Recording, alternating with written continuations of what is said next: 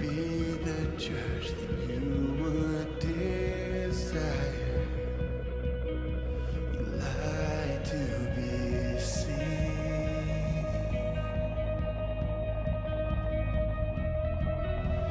Break down our pride, and all the walls were built up inside. Our